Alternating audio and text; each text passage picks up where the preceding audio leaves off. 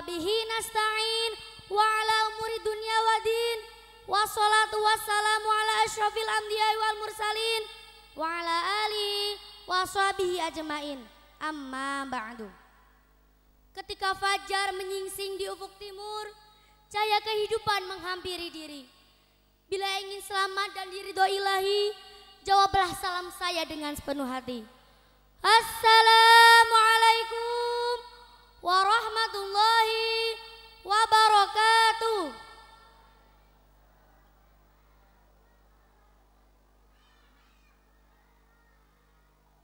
Yang terhormat pengasuh pondok pesantren Tahfidul Quran Al-Asy'ariyah Simbah Nyai Mustal Asy'ari Abah Kiai Haji Ibnu Jauzi dan Ibu Nyai Sofiah Faqih Muntaha beserta keluarga Yang saya muliakan para ulama, habaib, para kiai, para nyai khususnya Al-Mukarram Kiai Haji Ahmad Hussein Ilyas dari Gunung Pati Semarang yang saya tandimi kepala sekolah beserta guru dan karyawan SDT Hasus Al-Quran.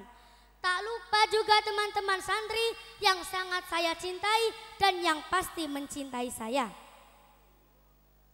Segala puji bagi Allah yang telah memberikan kesehatan dan kesempatan sehingga kita bisa berkumpul di dalam ruangan yang sangat mewah dan berkah ini. Kemudian sholawat beserta salam marilah sama-sama panjatkan kebanggaan Nabi besar Muhammad Sallallahu Alaihi Wasallam beserta keluarga dan sahabatnya sekalian. Butuh perkenalan Pak? Butuh perkenalan Bu? Oke lah kalau begitu. Perkenalkan, nama saya Kaisha Milati Aska, putri Bapak Yusuf Subaidi dan Ibu Laili Fauni Amah. Cukup sekian ya perkenalannya. Oke lanjut. Hadirin rahimakumullah. Saya akan menyampaikan tentang orang-orang yang soleh dan solihah. Waktu pertama kali lahir ke dunia ini. Tidak ada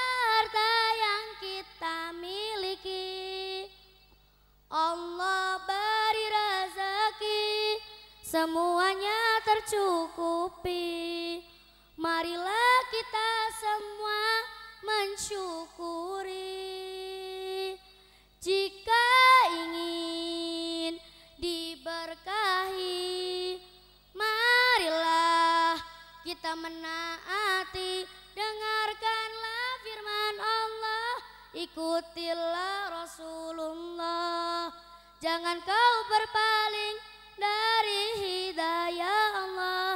Insya Allah siapa yang ingin bahagia di dunia? Siapa yang ingin bahagia di akhirat? Dan siapa yang ingin bahagia dunia dan akhirat? Kalau kita cuma bahagia di dunia sementara di akhirat sengsara itu masih celaka. Atau kita cuma hidup bahagia di akhirat sementara di dunia sengsara itu juga tidak nyaman. Yang paling enak fidunya hasanah wafil akhirati hasanah wakina adam ada benar bahagia di dunia bahagia di akhirat terhindar dari api neraka. Yang paling celaka bila sakyun fidunya wasakyun fil akhirah. Bapak Ibu rahimakumullah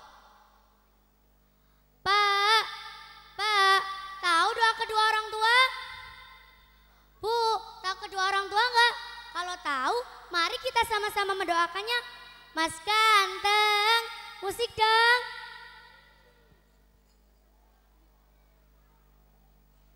Rabbi firli wali walidayya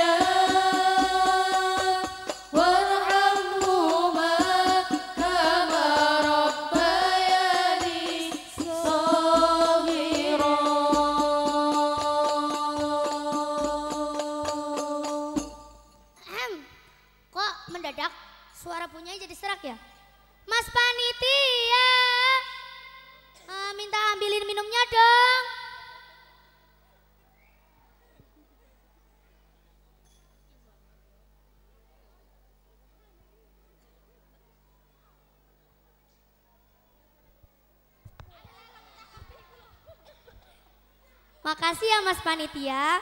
Semoga selalu asiap untuk punyai.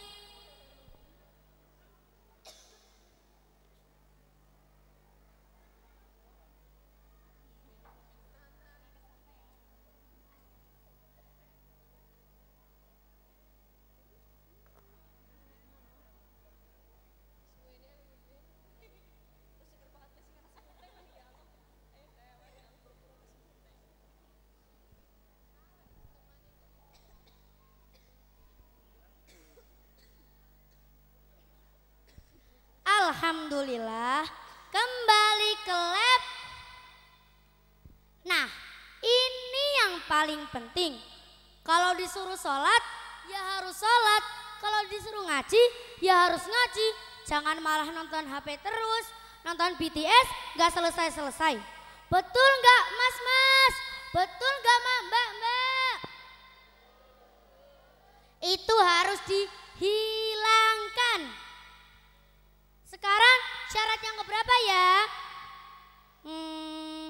Syarat yang keberapa ya?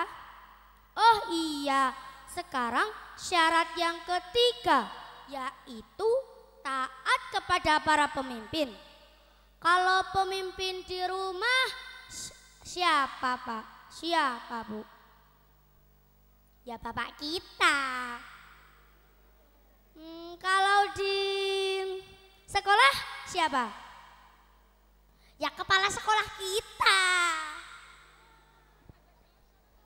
Hmm, di mana lagi ya? Kalau di kelas siapa? Wali kelas kita ya Allah.